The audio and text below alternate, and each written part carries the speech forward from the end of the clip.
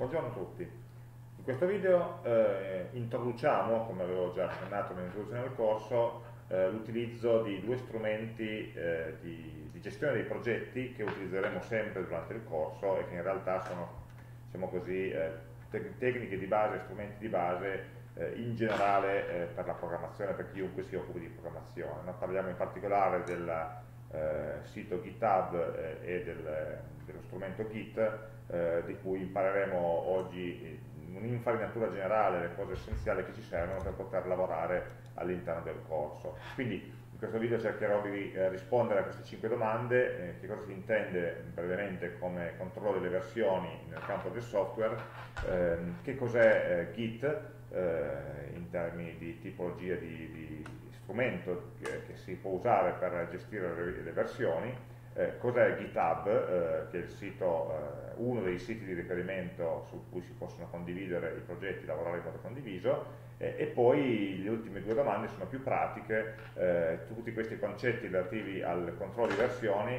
eh, come li posso usare dall'interno di Eclipse e in particolare quali sono i flussi di lavoro, quali sono le operazioni che risulteranno utili all'interno del corso, quindi sono quelli che poi utilizzeremo in laboratorio per svolgere gli esercizi eh, e in, in, parte anche per svolgere l'esame.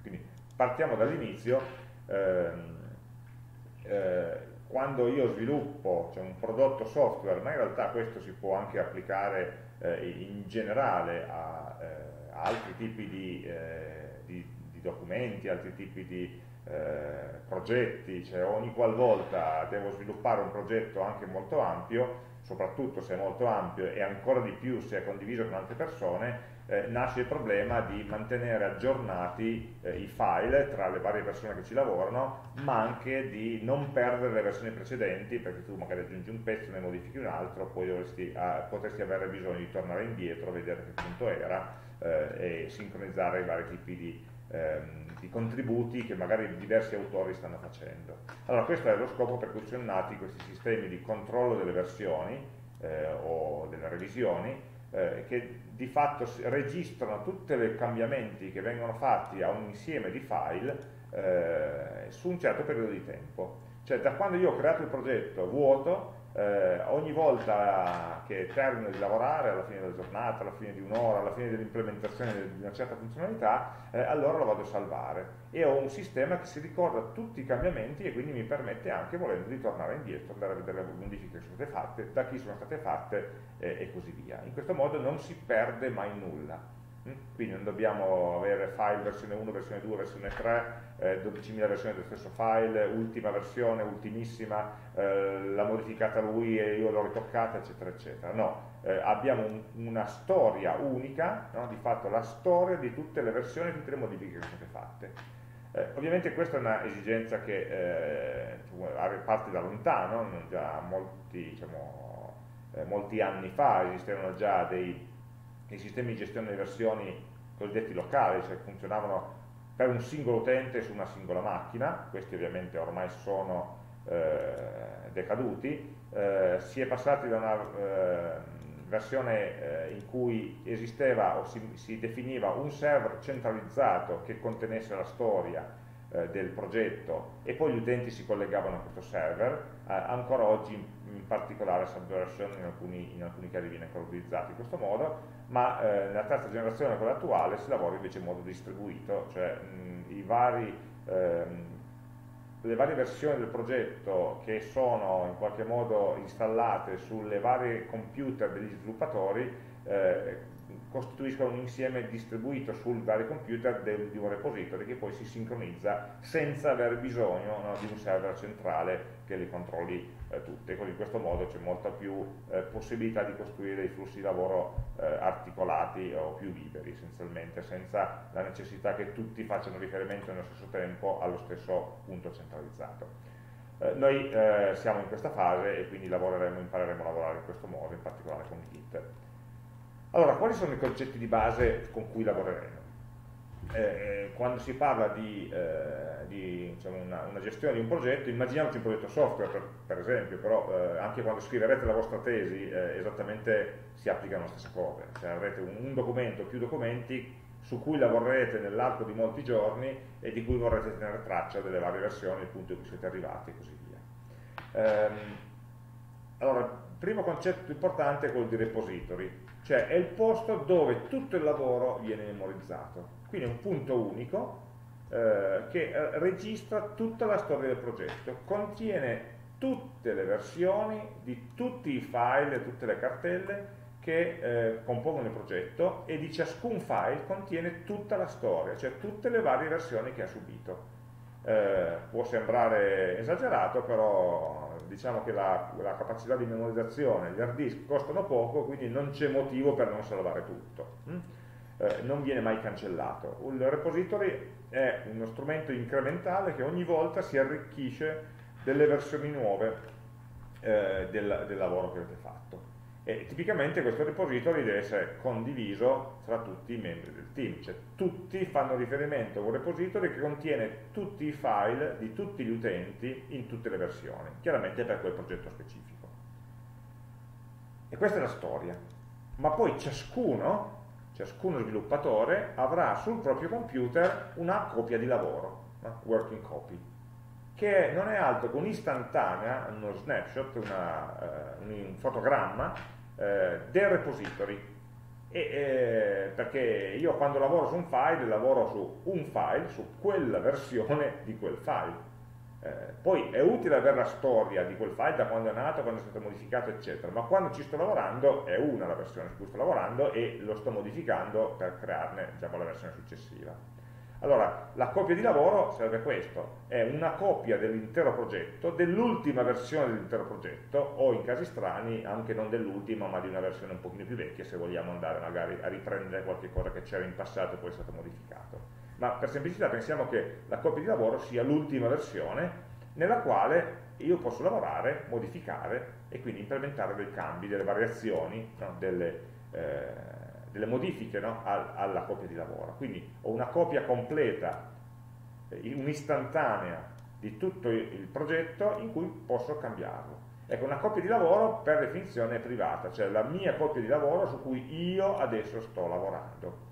Eh, non è eh, condivisa. Chiaramente eh, io mi immagino un pochino il repository come se fosse una eh, una serie di pancake eh, uno sul, sull'altro e ciascun pancake, ciascun livello è una versione diversa e la copia di lavoro è una copia che mi faccio del pancake che sta in punta, quello più in alto. È, l'ultima versione, ne prendo una copia e ci posso lavorare eh, a un certo punto poi questa copia, volendo, la potrò riaggiungere al repository in modo da poterla condividere con gli altri. Ma fin tanto che una modifica è nella mia copia di lavoro, gli altri non la possono vedere, nessuno la può vedere, è solo sul mio computer. Ovviamente la copia di lavoro deve, eh, per poter essere utile deve eh, tenere traccia, eh, quindi sul mio computer devo tenere traccia di che cosa ho modificato. Ho modificato un file, ho cancellato un file, ho creato un file nuovo, in modo che poi a un certo punto sia in grado il sistema di riconciliare le modifiche che sono state fatte sulla mia copia di lavoro col contenuto del repository. Dire al repository guarda che quell'utente lavorando sul suo computer a un certo punto eh, ha fatto queste modifiche. E questa operazione di riconciliazione tra le modifiche effettuate in una copia di lavoro e il repository ha un nome in gergo di commit Mm? Commit è il nome del comando che fa l'operazione ma anche il nome concettuale dell'operazione stessa. Quindi un'operazione che parte dalle modifiche di una copia di lavoro e le consolida all'interno del repository cioè aggiunge un pancake in punta con la nuova versione. Eh, quindi a questo punto abbiamo la pila un pochino più alta. Questo repository è cresciuto di un gradino è cresciuto di un, di un, di un passo. Eh, cosa fa un commit? va a vedere la working copy sul mio computer che differenze ha, che differenze ha subito rispetto all'ultima versione presente sul repository e invia al repository queste, queste differenze, queste versioni, queste modifiche. Eh, ovviamente, e poi i vari strumenti usano criteri diversi, bisogna fare attenzione perché se lo stesso repository viene modificato da più persone contemporaneamente, bisogna sempre mantenere la coerenza. Cioè se io modifico un file e tu modifichi un file diverso, tutto sommato va bene, ma se io e te modifichiamo entrambi lo stesso file ed entrambi cerchiamo poi a un certo punto di fare commit per um, inviare le modifiche di questo file al repository, eh, lì c'è il rischio che si crei un conflitto. Allora l'operazione di commit ovviamente dovrà gestire anche questi tipi di conflitti. ehm, soprattutto quando il repository è condiviso, ma ci arriviamo tra un attimo. Eh, quando faccio un commit una richiesta è sempre quella di fornire un messaggio, un commento, una motivazione che dice sì ma cos'è questo commit, cosa hai cambiato, in una riga, in due righe, dimmi che cosa hai cambiato, in modo che poi quando potrò andare a rivedere la storia del progetto, leggendo i messaggi di commit posso capire che cosa è stato fatto in un progetto. Quindi un messaggio di commit che dica modificati i file non serve a nulla, un messaggio di commit che dica ci sto lavorando non serve a nulla un messaggio di commit dovrebbe essere eh, ho aggiunto questa funzione, ho corretto questo errore, eh, ho cancellato del codice che non serviva più o cose di questo genere. Quindi che cosa ho fatto, cosa, qual è l'effetto delle modifiche che ho fatto, non semplicemente il fatto di aver fatto delle modifiche. E questo messaggio diventa, di fatto costituisce la storia del nostro repository. Quindi la storia del repository è l'elenco di tutte le versioni, ciascuna col commentino che ti dice chi l'ha fatto questa modifica e perché l'ha fatta.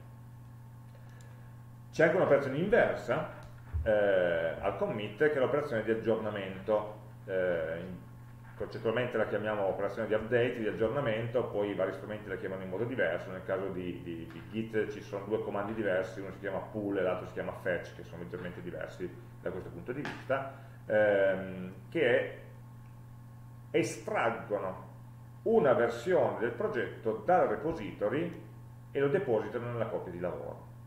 Allora, normalmente quello che vogliamo fare è prendere l'ultima versione del repository e cominciare a lavorarci. Cioè, diciamo che io ho lavorato l'altro ieri su un progetto, ho fatto delle modifiche, ho fatto il mio commit. Poi i miei colleghi hanno fatto altre modifiche, hanno fatto altre, diciamo, altri sviluppi e io oggi devo rilavorare sul progetto, non posso ricominciare dalla versione di tre giorni fa che ho sul mio computer, perché nel frattempo i miei colleghi ci hanno lavorato. Allora, prima di lavorare voglio essere sicuro di prendermi la copia più recente, aggiornare la mia copia di lavoro con la versione più recente del progetto che è presente nel repository. E quindi prima di lavorare, prima di modificare, farò un update. Quindi immaginiamo già un ciclo molto semplice, arrivo al mattino, mi aggiorno la copia di lavoro dal repository, ci lavoro e a fine giornata, oppure anche più volte durante la giornata, faccio dei commit per salvare il lavoro e ricondividerlo con i colleghi. Eh, anche qua eh, devo eh, applicare eh, sulla copia di lavoro le modifiche che sono state fatte sul repository e può darsi, può succedere che ci siano delle modifiche che in qualche modo si sovrappongono alle modifiche che ho fatto io o nei casi sfortunati vanno in conflitto con le modifiche che ho fatto io e quindi ci vorrà un'operazione di fusione, di condivisione, di riconciliazione delle varie versioni che può fare solamente il programmatore, chiaramente il tool eh, non può, fare, non può capire in automatico se ci sono modifiche diverse fatte da persone diverse che cosa deve succedere. Eh, questo discorso di persone diverse che lavorano sullo stesso progetto nel nostro corso non si applica tanto, quindi sorvolo un pochino su queste complessità che sono in realtà le complessità reali, vere, eh, della gestione dei progetti, eh, perché di fatto nel nostro corso ciascuno lavorerà sui propri progetti. Eh, fino a qua eh, abbiamo fatto finta che sul computer di una persona ci fosse un repository unico che contenesse la storia di un progetto e una copia di lavoro che via via evolve e poi si va a risincronizzare col, eh, col repository. Che cosa succede quando vogliamo lavorare in più persone sullo stesso progetto? Allora, ci sono eh, due metodi. Uno, supportato da alcuni tipi di sistemi di controllo versioni, di tipo più centralizzato. Ognuno sul suo computer, ognuno, ciascuno degli sviluppatori, sul suo computer ha una copia di lavoro e da qualche parte su un server c'è un'unica copia del repository intero. Quindi vuol dire che quando io voglio fare un update, il mio computer andrà a interrogare il repository e si prenderà l'aggiornamento dell'ultima versione. Ogni volta che voglio che faccia una modifica, questa modifica dovrà essere a sua volta salvata con un'operazione di commit sull'unico repository e quindi gli altri utenti li informo, glielo dico, si faranno un update per andare a prendere dal repository le modifiche che ho fatto io. Questo è un modello molto semplice, però richiede un unico repository. Se questo sviluppatore qui sta lavorando senza una connessione internet, sta facendo un lavoro più complesso, oppure sta facendo degli esperimenti su una sua versione privata del lavoro, eh, non può farlo se non sincronizza, se non è sempre collegato e si sincronizza su questo repository. Col, passa col passare a diciamo così, metodi di lavoro sempre più distribuiti, eh, questo modello ha, diciamo, ha, riscontrato limitazioni e quindi si è andati verso un modello più complesso, che è quello con cui eh, lavoriamo noi oggi, che è un sistema di controllo delle versioni distribuito. Eh, cosa succede qua? Qui succede che i, i, vari sviluppatori ovviamente hanno ciascuno una copia di lavoro, copia di lavoro, copia di lavoro, e c'è sempre un repository centrale, assolutamente. Ma sul computer di ciascuno sviluppatore c'è anche una copia del repository, una, due, tre. Quindi ciascuno sviluppatore ha una, la copia di lavoro e una copia intera dell'intero repository. Quindi le operazioni di commit e update possono avvenire anche localmente. Io dalla mia copia di lavoro faccio commit, dal repository faccio update e così via e quindi lavoro e posso andare avanti facendo anche più di un commit, diciamo, localmente sul mio computer. Quando questa serie di commit raggiunge un punto stabile che voglio condividere con i miei colleghi, allora prenderò questa copia e cercherò di condividerla sul repository centrale e i miei colleghi dal repository centrale potranno aggiornare innanzitutto il loro repository locale e poi la copia di lavoro. Quindi abbiamo trasformato un'operazione in un passo dalla copia di lavoro al repository in un'operazione a due passi, dalla coppia di lavoro al repository locale e dal repository locale al repository remoto condiviso. Tra l'altro questa architettura è molto flessibile per cui io potrei anche avere dei casi in cui il repository condiviso non esiste oppure in cui ne esistono di più di uno mm, per configurazioni di tipo particolare. Quindi l'operazione è un'architettura un molto molto libera, molto aperta e purtroppo eh, proprio perché è molto aperta da molte possibilità eh, è anche un pochino complessa da utilizzare, soprattutto all'inizio. E, e, quindi oltre all'update e al commit eh, abbiamo altre due operazioni fondamentali in un sistema di controllo di versioni eh, distribuito dove ho repository locali e repository remoti o almeno un repository remoto ho l'operazione che fa sì che dalle modifiche sul repository locale che ovviamente saranno arrivate da copie di lavoro le quali hanno fatto commit, e quindi qui ci sono dei livelli in più che sono stati aggiunti su questo repository locale, devo aggiornare il repository remoto con le ultime modifiche che sono state fatte al repository locale. Quindi ricordiamo due passaggi, per la copia di lavoro faccio commit e arrivo al repository locale, quindi questo repository locale in quel momento non è più allineato con gli altri repository locali dei miei colleghi, perché ho fatto delle modifiche. E allora eh, il passaggio dopo è far sì che il, le modifiche effettuate sul mio repository locale vengano trasferite anche sul repository remoto. Questa operazione prende il nome di push, cioè vado a spingere, spingere modifiche locali anche sul remoto. Eh, ovviamente a patto che queste modifiche non vadano in conflitto con modifiche fatte da altri, ma questa diciamo, è la gestione dei conflitti di cui parlavamo prima, su cui soprassediamo.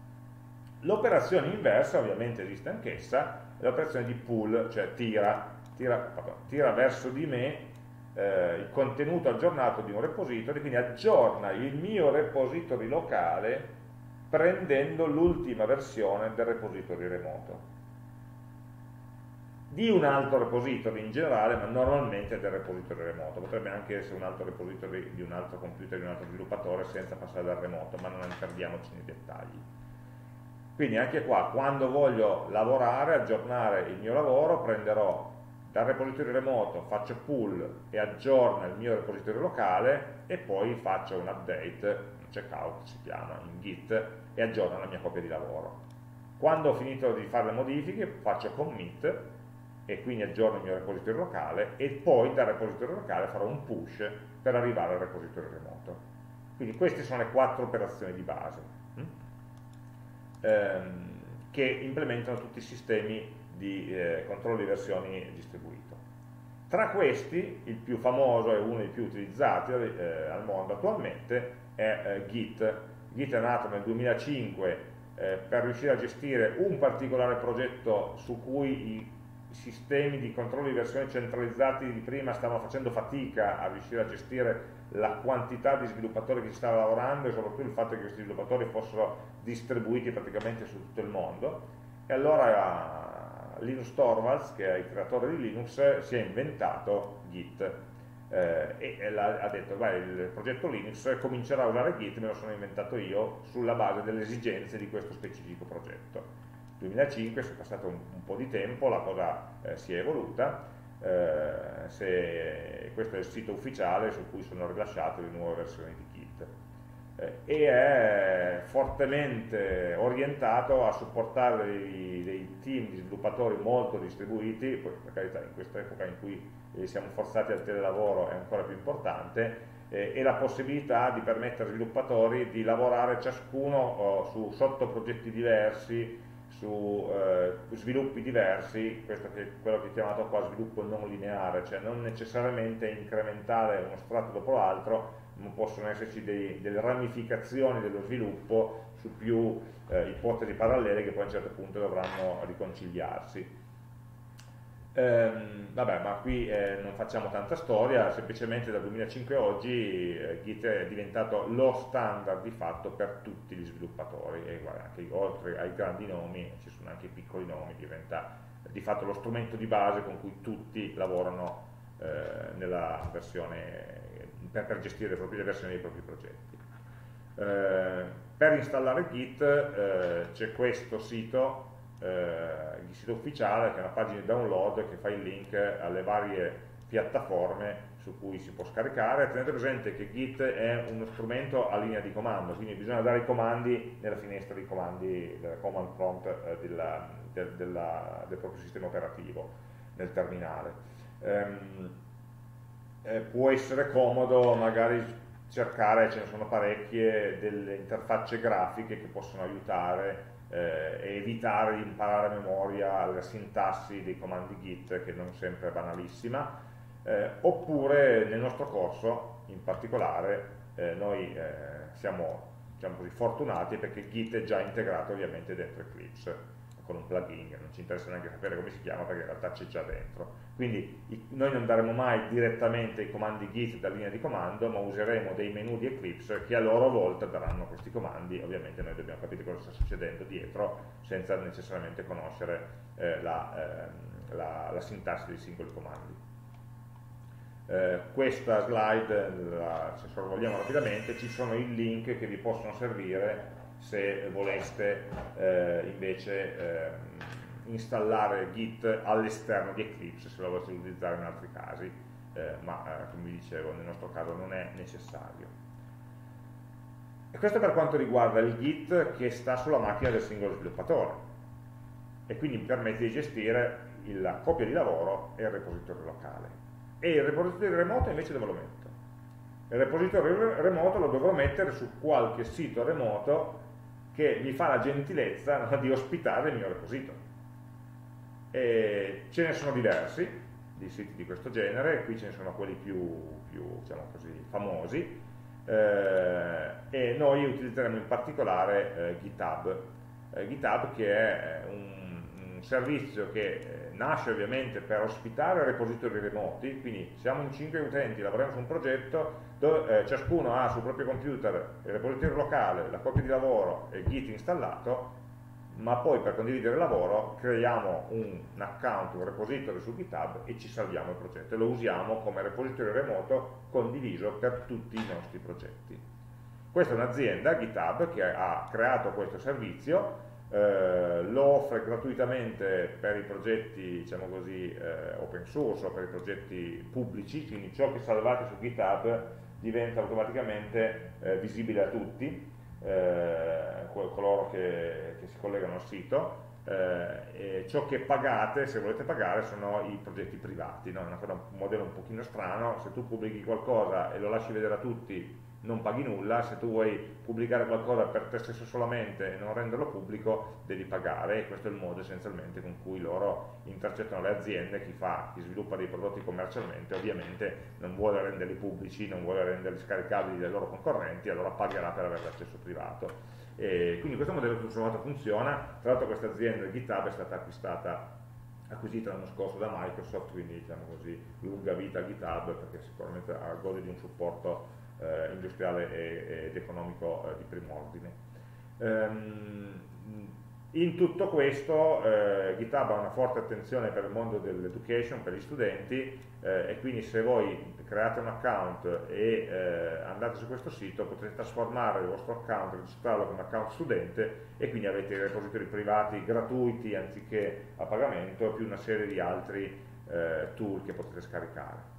Non è l'unico, io non voglio fare pubblicità a GitHub, semplicemente quello più utilizzato, esiste Bitbucket, esiste GitLab, eccetera, eccetera, cioè, facciamo una scelta. Ehm, ok, adesso questi sono gli strumenti, vediamo un attimo come, eh, come utilizzarli, come usarli. No? Quindi un conto è i comandi di base su cui non entriamo in dettaglio, ma la domanda che ci facciamo adesso è, va bene, ho capito i concetti base, ma in pratica, in pratica come faccio? Allora, eh, io voglio vedere insieme a voi due flussi di lavoro, due workflow. Un primo workflow quando voi dovete lavorare su un vostro progetto nuovo. Quindi create un progetto e lo volete condividere. Il secondo workflow invece, che vedremo tra un attimo, è quando devo lavorare su un progetto che qualcun altro ha creato e io ci devo contribuire. Allora, partiamo dal primo. Creare un nuovo progetto. È, è eh, diciamo definito in eh, quattro passaggi Adesso sulle slide che trovate scaricabili eh, ci sono le varie videate, eh, ma eh, anziché vedere insieme le videate e commentarle, facciamolo in tempo reale. Quindi apriamo Eclipse, prendiamo Eclipse e eh, andiamo un pochino e vediamo di applicare, quindi siamo in un contesto in cui noi vogliamo creare un nuovo progetto e eh, condividerlo su GitHub per poterci lavorare. Una nota, se anche ci lavoro solo io, se anche ci lavorassi da solo, vale comunque la pena, vale comunque la pena di salvarlo su GitHub perché eh, mi mantiene la storia, mi permette volendo di lavorare da più computer diversi, sono sicuro di non perdere nulla quindi eh, la, la controllo di versioni non è solamente utile quando devo lavorare con, con, altre persone, ma è anche fondamentale quando devo lavorare da solo. Una volta che cominciate ad abituarvi a lavorare in questo modo, state tranquilli che non vorrete tornare indietro a dire ma quell'ultima versione del file ce l'ho nella chiavetta che l'ho lasciato in borsa, ma ieri pomeriggio sono andato in palestra, quindi magari l'ho dimenticata là eh? oppure gente che dice ho perso tutto il lavoro della tesi perché mi hanno rubato la chiavetta mentre ero sul, sull'autobus, ecco queste cose qua nel 2020 non devono capitare, quindi ricordatevi che se venite a dirmi o se parlate con un informatico e dite ho perso tutto, lui vi riderà in faccia, no? perché non avete usato gli strumenti che ci sono per poter gestire eh, non solo le ultime versioni, non solo le copie di backup, ma anche la storia di tutto il lavoro. Ok, fine del pippone e torniamo al nostro Eclipse. Allora, creo un nuovo progetto, facciamolo così come faremo i progetti nel nostro corso, visto che noi lavoreremo con la libreria JavaFX e quindi eh, creeremo dei progetti grafici eh, su Java 11 c'è una certa complessità nella gestione dei progetti, noi abbiamo semplificato il lavoro di creazione dei progetti. Allora, la, la procedura che seguiremo sempre per creare progetti è questa eh, adesso zoomate poi il, il, video su questa parte per poter vedere meglio, purtroppo Eclipse non è molto friendly eh, con la dimensione dei caratteri. Allora, nuovo progetto, file, new project. E eh, new project ci permette di, di, trovare, Eclipse ci chiede di scegliere quale tipo di progetto usare, allora voi siete abituati probabilmente a creare un nuovo progetto di tipo Java Project, che vi crea un progetto Java semplice nudo, ma per poter usare le librerie che ci servono eh, noi usiamo un tool che si chiama Maven eh, che permette di, eh, di fatto eh, scaricare automaticamente le librerie necessarie per un progetto. E noi abbiamo definito uno scheletro di progetto che può andare bene per questo corso. Quindi quando creiamo un progetto in questo corso la, il tipo di progetto di partenza sul new project sarà sempre Maven project. Quindi file new project Maven Maven project Maven Project mi chiede dove voglio salvare il progetto, vabbè, l'avrò definito all'interno di workspace che, usa, che, ho definito quando ho aperto Eclipse, quindi ci sarà già, la prima videata non ci interessa. La seconda videata ci chiede se vogliamo selezionare un archetipo, cioè di fatto uno scheletro di progetto.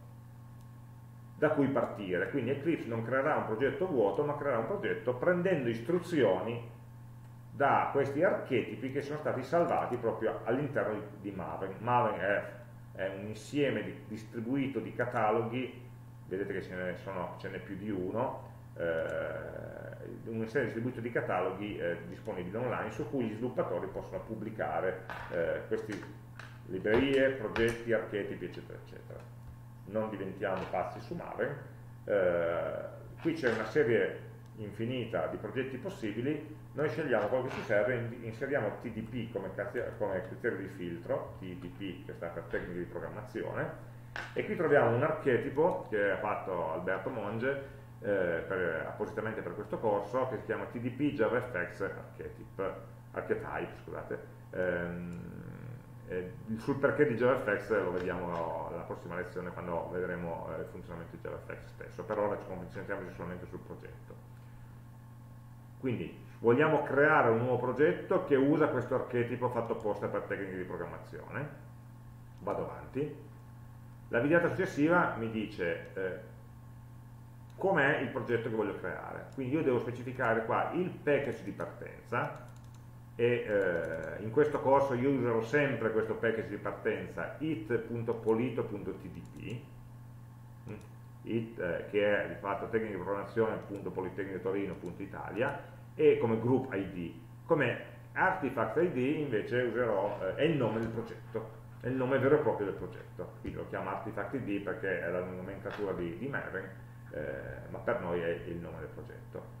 Eh, ovviamente il package sarà uguale, it.polito.tp è uguale al gruppo ID più il nome del progetto. Allora, questo nome del progetto lo possiamo chiamare ehm, prova 1, hm, tanto per, eh, per semplicità, tanto poi lo cancelleremo, e quindi definisco un progetto che si chiama prova 1 e quindi verrà creato un package it.polito.tdp.prova1. Se clicco su finish parte la creazione del progetto.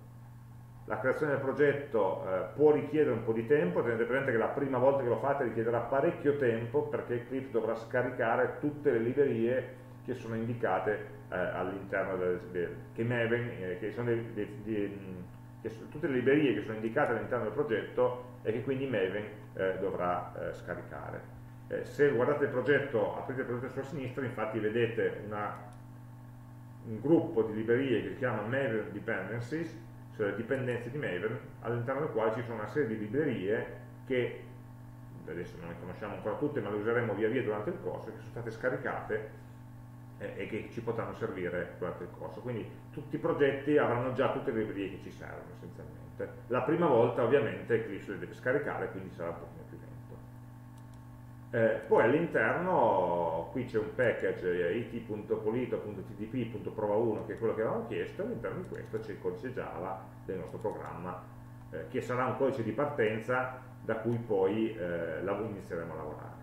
Allora, qui ho creato un progetto nuovo, fin qui non ho fatto nulla, è stata un po' lunga perché è la prima volta che lo facciamo, ma poi eh, voglio condividerlo. Quindi sono a questo punto qua, ho creato un progetto in Eclipse usando un archetipo, adesso però questo è un progetto che non è ancora sotto version control, è un progetto semplice, ma non è agganciato a un repository. Allora, la prima cosa che devo fare è creare il repository locale. In eh, Eclipse tutte le operazioni di version control sono sotto il menu team. Quindi sono andato sul progetto, tasto destro, mi dà il menu contestuale, team. Tutte le operazioni di version control le troviamo dentro questo menu team. Vedete che il menu team per ora è, vuoto, è praticamente vuoto, ha solo due voci, perché il progetto appunto non è sotto version control. Quindi la prima cosa che devo fare è condividere il progetto. Share project è la terminologia che usa Eclipse per dire eh, crea un repository. Quindi un progetto appena creato, nuovo, non è agganciato a un repository, col comando share project lo aggancio, creo repository. E lui mi dice, bene, dove vuoi creare questo repository? Configure git repository. Eh, io eh, di solito lo, lo, faccio creare nella stessa cartella in cui si trova il progetto. Quindi c'è questa prima eh, casella, usa, crea il repository nel, nel, nella cartella padre del progetto, seleziona il progetto e seleziona i bottoni in basso crea repository, così me lo crea nello stesso workspace dove c'è il progetto stesso. Quindi lui alla fine creerà un progetto di tipo Git all'interno di questa cartella, che è la cartella del progetto. Faccio finish ed è fatto. È cambiato leggermente l'aspetto estetico del progetto perché a fianco di ogni icona sono comparsi due simboli. In alto, dove c'è il progetto, è comparso in basso a destra un simbolo di un bidone giallo. Il bidone giallo è l'icona del repository.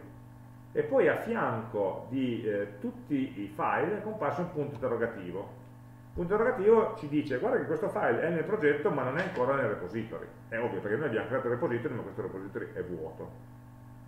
Quindi la prima cosa che, che dovremo fare sarà quella di eh, abbiamo un repository vuoto e un working space che contiene dei file. Allora dovremo a un certo punto aggiungere questi file, questo working space all'interno del repository. Se andiamo a curiosare nel menu team, vediamo che adesso invece è molto ricco. E quindi il primo comando che, che troviamo qua è proprio commit, cioè salvami nel repository eh, locale eh, il, ehm, il, il, contenuto del working space attuale. Eh, prima di farlo, mh, mm, lo facciamo tra un attimo questo commit, eh, torniamo su GitHub. Noi avevamo creato, adesso abbiamo creato il repository locale in Eclipse, ma questo repository locale lo vorremmo anche condividere, allineare con un repository remoto, anche se lo usassimo solo noi, su GitHub creiamo un repository parallelo gemello a quello locale che sarà sincronizzato. Quindi prima di fare i commit, eh, quindi a, a sincronizzare il repository locale, predisponiamo un repository remoto con cui fare il collegamento. Quindi crea un nuovo progetto su GitHub, il terzo passaggio. Crea un nuovo progetto su GitHub significa che apro a questo punto invece il sito di GitHub eh, che avrete creato un account eh, su GitHub con il vostro nome, io questo è il mio, mm, dove ho tutta una serie di rep repository che ho già creato mm, per, per vari motivi eh, e questa è la vostra pagina GitHub mm, personale. Eh, all'interno di questa pagina creiamo un nuovo repository. Quindi all'interno del vostro utente faccio repository nuovo e mi permette di creare un nuovo repository. Allora, chiamiamolo con lo stesso nome del, del, no, del progetto Eclipse, quindi lo chiamo prova 1. Mm? Chiamatelo come volete ovviamente, ma conviene usare lo stesso nome del progetto così non ci confondiamo. Eh, la descrizione è semplicemente repository di prova per illustrare il funzionamento di Git.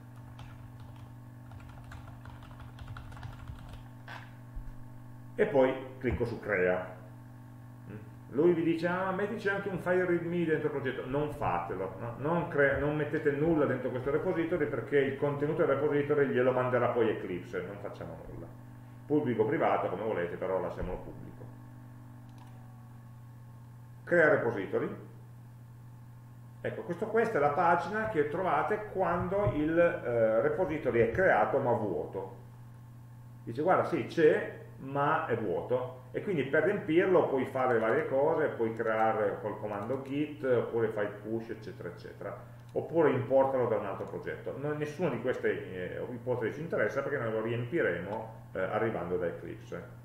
L'altra cosa importante è che c'è da notare che ogni repository ha una URL, ha un indirizzo che voi trovate qua in alto. Quindi questo indirizzo è l'indirizzo del nostro repository all'interno di GitHub. Vedete che github.com slash fulviocorno, che è fullcorno, che è il mio utente, slash prova1, che è il nome del progetto, punto git. Questo è fondamentale perché è quello che ci permette di creare il collegamento tra il progetto locale, il repository locale e il repository remoto. Adesso abbiamo creato il progetto, è vuoto, ma possiamo tornare su Eclipse e eh, salvare questo progetto all'interno e del repository locale e del repository remoto. Come si fa? Team commit. Il comando di commit mi crea o mi popola una finestra qua in basso, git staging, staging vuol dire eh, diciamo, i passi intermedi no? che ci permettono di salvare il file. Cosa ci dice? Tre finestrelle. La prima, modifiche non ancora pianificate. Sono le modifiche che sono state ai file del progetto, ma per i quali non è ancora stato predisposto il commit. In questo caso c'è tutto il progetto. Noi possiamo prendere uno a uno questi file e portarli invece nella finestra o cliccandoci sopra o spostandoli nella finestra Stage Changes, che sono le modifiche al working space che in realtà vogliamo salvare facendo un commit. Eh, vogliamo salvare perché magari alcune volte ci sono modifiche che facciamo, abbiamo fatto un file temporaneo, abbiamo, stiamo ancora lavorando su una cosa, allora vogliamo fare commit di un file ma non di un altro, allora lo potremo scegliere. Ma nella maggior parte dei casi eh, quello che ci interessa è salvare tutto. E quindi c'è questo tastino verde più più con questi due più che permette di copiare in blocco tutte le modifiche. O oh, modifica vuol dire file nuovo, file modificato o file cancellato.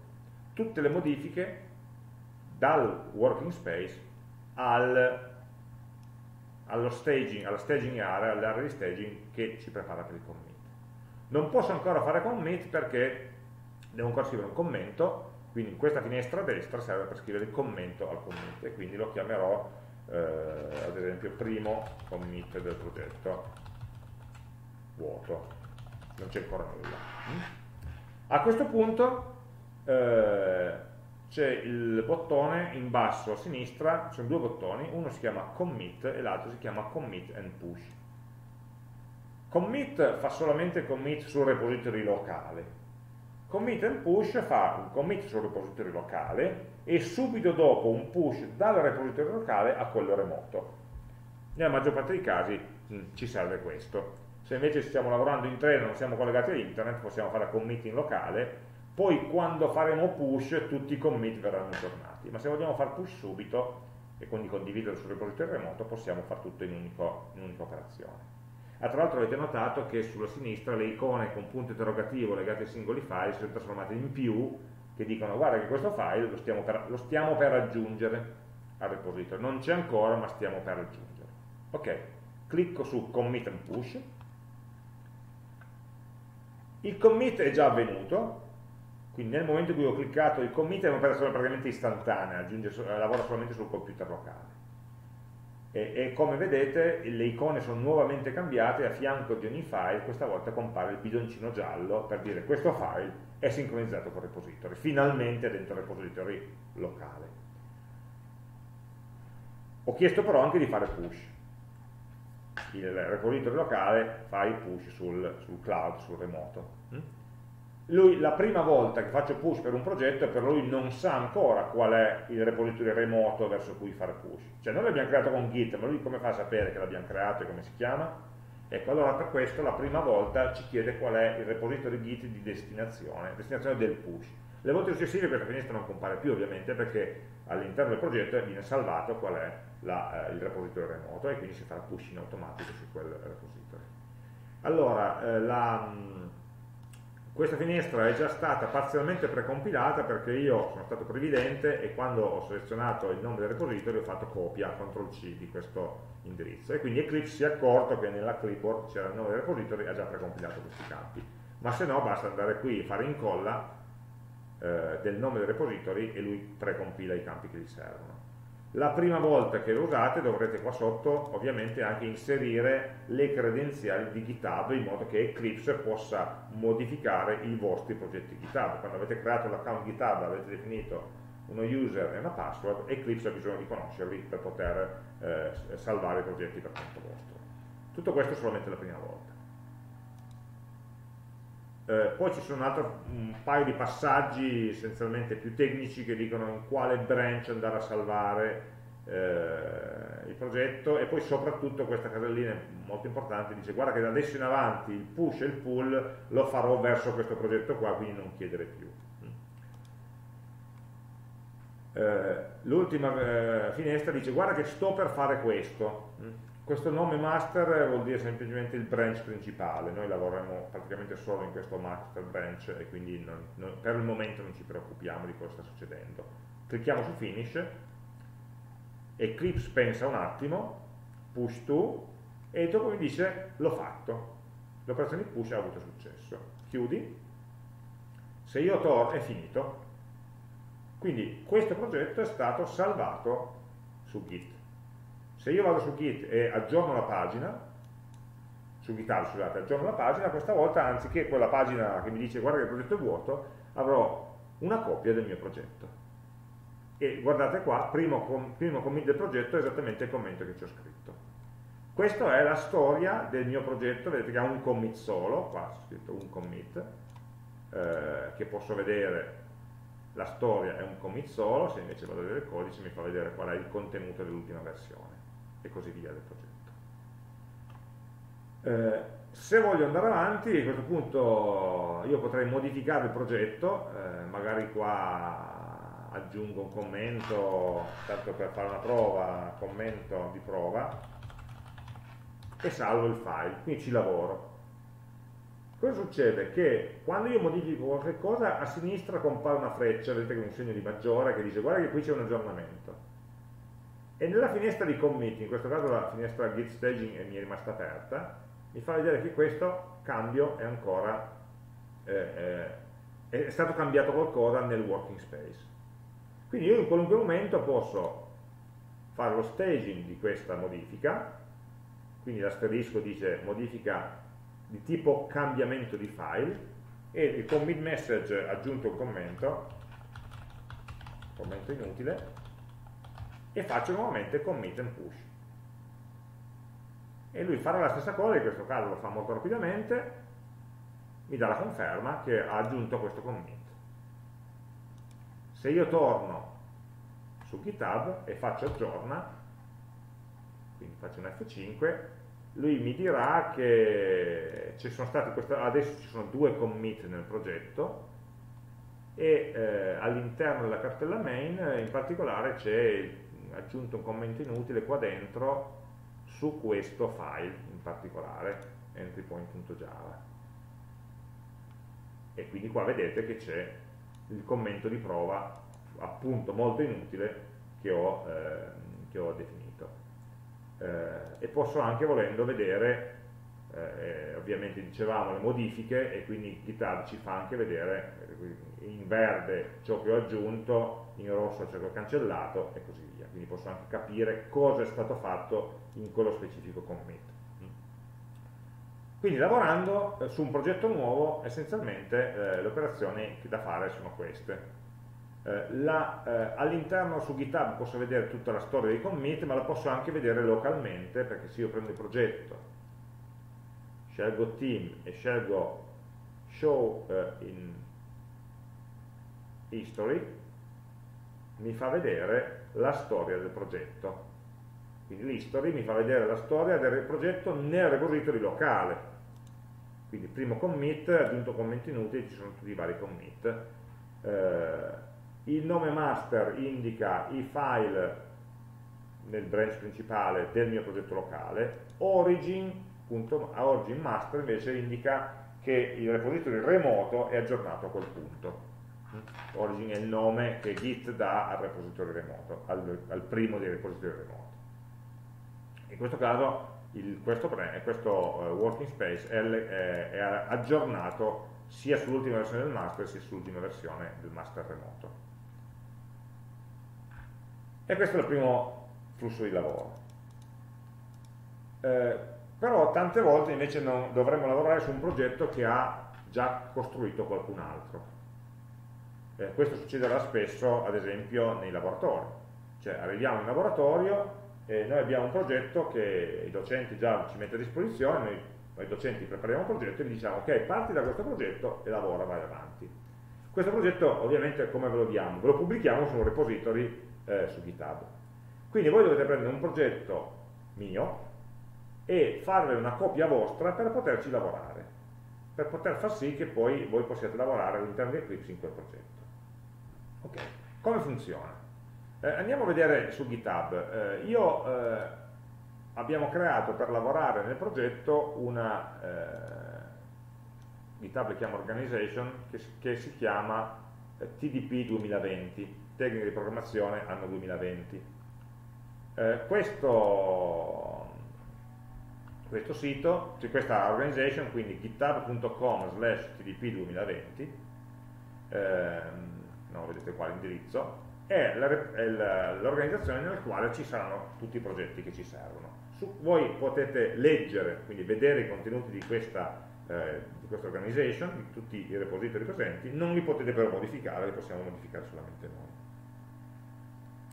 Eh, qua a un certo punto per il primo laboratorio troverete un progetto che si chiama Laboratorio 1 e vorrete lavorarci. Non potete lavorarci perché ovviamente non avete i permessi di modificarlo. Allora, che operazione viene fatta? Viene fatta un'operazione che si chiama fork. Adesso lo facciamo insieme. Eh, io ho creato un progetto di esempio, che ho chiamato appunto esempio Git, per poterci esercitare, quindi potete provarlo poi anche voi. Questo progetto è dentro Tecniche di Programmazione 2020, ok? È l'organizzazione condivisa. C'è questo esempio, che contiene un progetto vuoto, di fatto è un progetto nuovo che ho appena creato, che è di proprietà di TDP 2020, voi non lo potete modificare. Per poter modificare dovete eseguire un'operazione di fork. Vedete qua in alto a destra c'è un bottoncino fork. Fork che cosa fa? Fa una copia di un progetto di cui avete i diritti di lettura, quindi questo progetto qua, esempio Git, sta dentro TDP 2020, voi lo potete vedere ma non modificare. Però visto che lo potete vedere, ne potete fare una copia, un fork, all'interno del vostro repository personale. Nel momento in cui è nel vostro repository personale potete fare ciò che volete e quindi poi anche modificarlo. Allora, qui c'è un repository remoto di proprietà di TDP 2020? Ok, facciamolo diventare un repository remoto di proprietà mia, di ciascuno di voi. Come? Con questa operazione fork. Clicco semplicemente sul, bottino, sul bottone fork e lui mi dice dove vuoi forcare esempio git, cioè dove vuoi fare la copia, beh io qui ho tante eh, organizzazioni, voi ne avete probabilmente una sola che è il vostro nome. Quindi cliccate sul vostro nome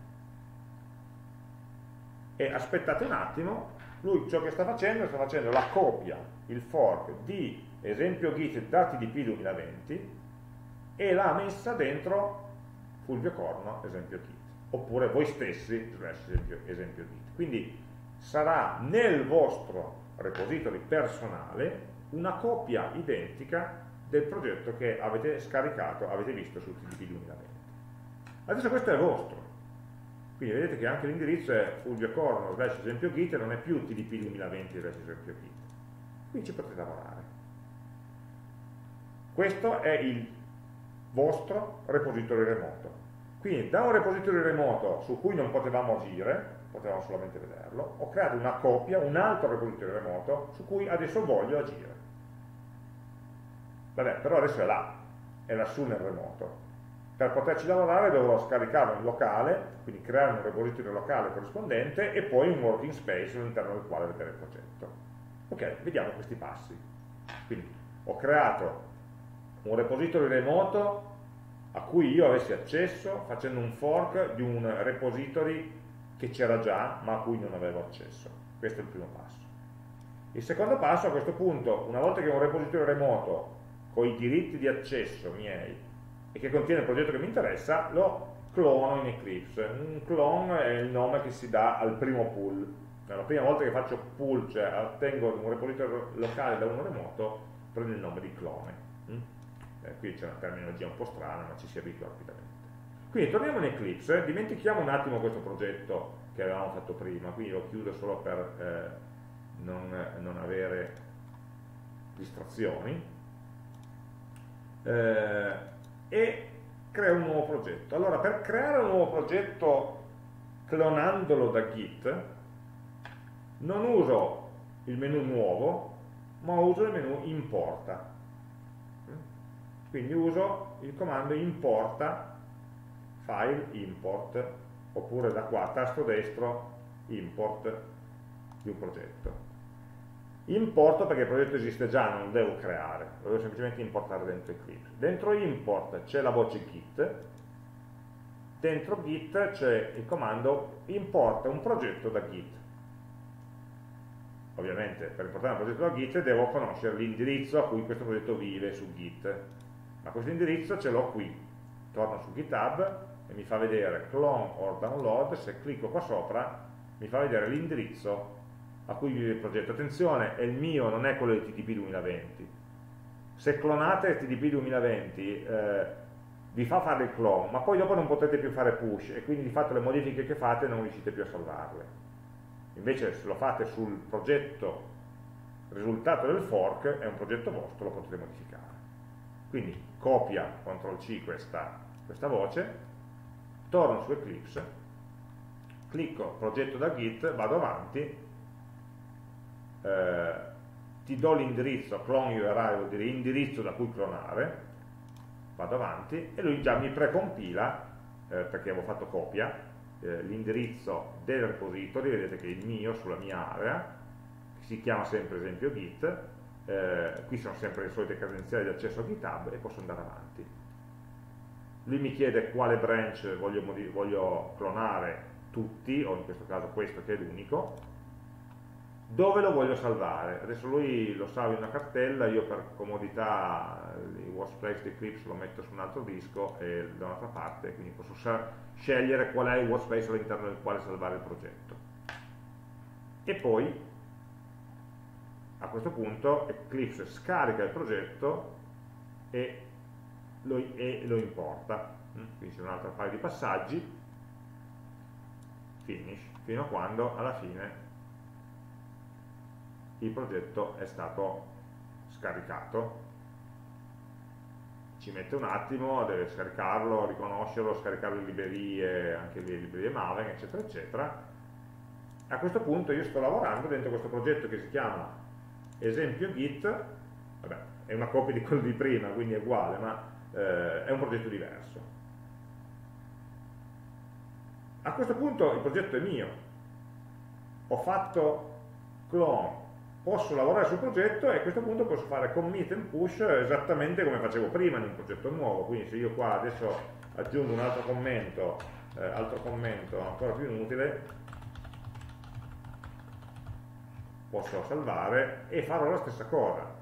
Eh, cioè ho una modifica, faccio lo staging della modifica, scrivo il commit, eh, commit di prova e schiaccio commit and push in questo caso non mi chiederà più nulla perché visto che il progetto è stato creato da un'operazione di clone, lui sa benissimo qual è il, progetto, il repository remoto da cui proviene. Quindi facendo commit and push eh, automaticamente mi, fa, mi dice che, farà, che ha fatto il push su questo repository. E se non ci credo vado a verificare aggiornando questa pagina e mi fa vedere che ci sono effettivamente eh, due commit eh, e quello commit di prova è andato a finire dentro eh, questo file main in cui ho aggiunto il commento. Mm? Se vogliamo eh, controllare su TDP 2020 invece non c'è questo commit, c'è un commit solo che era quello di partenza.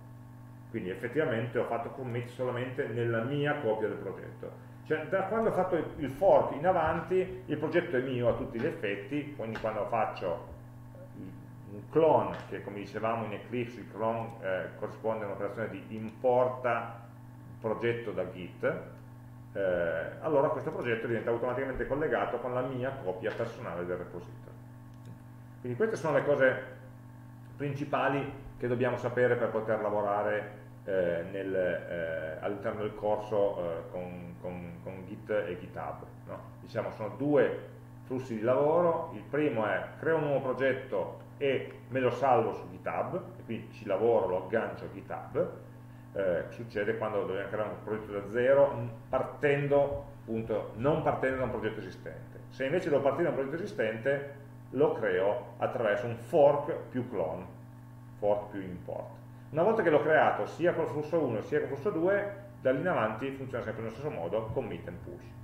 O tra l'altro ovviamente se voi avete più di un computer, voi potete creare il progetto su un computer, fare push e poi sul secondo computer potete fare un, clono, un clone e lavorarci, lavorare sullo stesso progetto da due computer diversi. Ovviamente in questo caso il progetto è uno, non è necessario fare fork perché è lo stesso progetto, è già vostro e quindi non, non avete bisogno di farvene una copia eh, a cui abbiate accesso. Queste sono le cose di base su cui lavoreremo eh, in laboratorio, sarà il questo soprattutto sarà il workflow principale del laboratorio, eh, poi ci sono delle cose più avanzate che se qualcuno di voi è curioso, il fatto che eh, Git è in grado di gestire anche più ehm, flussi diversi, più branch diversi si loro li più rami di sviluppo diversi.